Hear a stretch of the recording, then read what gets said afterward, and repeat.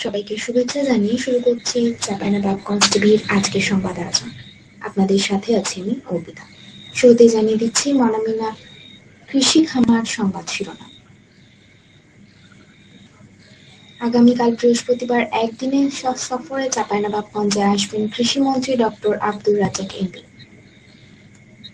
চাপাইনবাবগঞ্জ পৌরসভার তিন নং ওয়ার্ড সরকারের উন্নয়ন কর্মকাণ্ডের কথা তুলে ধরে চাপাইনবাবগঞ্জে গণসংযোগ শিবগঞ্জে ইউনিয়নের হস্তক্ষেপে আশ্রয় মিলেছে দুই শিশু।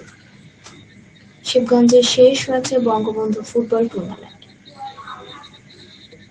এতক্ষণ শুনছিলেন শিরোনাম। এবারে বিস্তারিত। আগামীকাল বৃহস্পতিবার একদিনে সফরে চাপাইনবাবগঞ্জে আসবেন কৃষিমন্ত্রী ডক্টর আব্দুর রাজাক এমপি।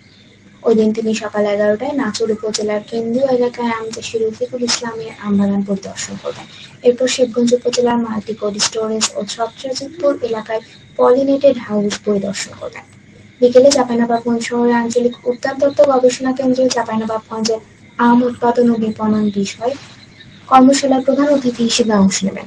এরই মধ্যে মন্ত্রীর আগমনকে ঘিরে কৃষি বিভাগ জেলা প্রশাসনের প্রস্তুতি নেওয়া হয়েছে আম গবেষণা কেন্দ্রে অনুষ্ঠান, স্থলে মঞ্চ ও প্যান্ডেল তৈরি করা হচ্ছে। পুরো এলাকায় শোভা পাচ্ছে বিভিন্ন ব্যানার, ফেস্টুন।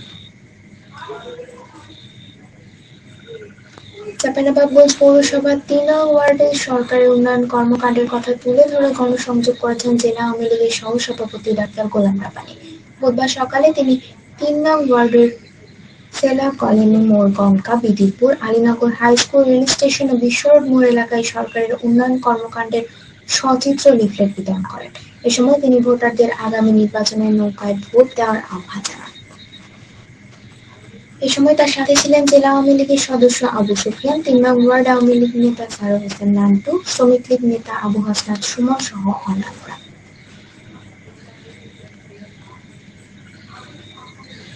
শিবগঞ্জ উপজেলা নির্বাহী কর্মকর্তা আবুল হায়াতের হস্তক্ষেপে দুই শিশুর আশ্রয় মিলেছে বেসরকারি সংস্থা association for community development ACD কার্যালয়।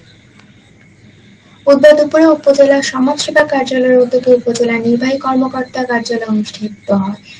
ADC Chapainawabganj head officer programme কর্মকর্তা আব্দুল হান্নানের নিকট ওই দুই শিশুকে হস্তান্তর করেন নির্বাহী কর্মকর্তা আবুল হায়াত। এ সময় উপস্থিত ছিলেন উপজেলা সমাজসেবা কর্মকর্তা কাঞ্চন কুমার দাস, শিবগঞ্জ থানার ওসি চৌধুরী জোবাইর আহমেদ, উপজেলা কৃষি কর্মকর্তা কৃষিবিদ শরীফুল ইসলাম ও শিশু দুইটির দূর সম্পর্কে সচেতন। শিবগঞ্জের বঙ্গবন্ধু ফুটবল টুর্নামেন্টের ফাইনাল খেলা অনুষ্ঠিত হচ্ছে মঙ্গলবার বিকেলে কয়লাদিয়ার উচ্চ বিদ্যালয় মাঠে অনুষ্ঠিত ফাইনাল খেলায় এক শূন্য গোলে Shahbazpur Bholabari young star football একাদশে হারিয়ে চ্যাম্পিয়ন হয় কয়লাদিবাড়ি বাবু মোড় ফুটবল একাদশ। খেলা শেষে চ্যাম্পিয়ন ও রানার আপ দলের মাঝে পুরস্কার তুলে দেন উপজেলার নির্বাহী কর্মকর্তা আবুল হায়াত। পুরস্কার বিতরণ অনুষ্ঠানে শ্যামপুর ইউনিয়ন মুক্তিযোদ্ধা কমান্ডার বীর মুক্তিযোদ্ধা আশরাফুল ইসলামের সভাপতিত্বে অন্যদের মধ্যে উপস্থিত ছিলেন উপজেলা প্রকল্প বাস্তবায়ন কর্মকর্তা প্রকৌশলী আরিফুল ইসলাম, উপজেলা সমাজ সেবা কর্মকর্তা কাঞ্চন কুমার দাস, সহকারী উপজেলা শিক্ষা কর্মকর্তা রফিকুল ইসলাম, টুর্নামেন্টে মোট বারোটি দল অংশ নিচ্ছিল আজ এখানে শেষ করছি চাপাইনবাবগঞ্জ টিভির সংবাদ আয়োজন। নিয়মিত আপডেট পেতে সাবস্ক্রাইব করুন চাপাইনবাবগঞ্জ টিভির ইউটিউব চ্যানেল। আপনিও যুক্ত হতে পারেন নাগরিক সাংবাদিকতা। আপনার এলাকার যে কোনো সংবাদ জানাতে আমাদের সাথে যোগাযোগ করুন শূন্য এক তিন এক ছয়, শূন্য দুই পাঁচ নয় আট দুই নম্বরে।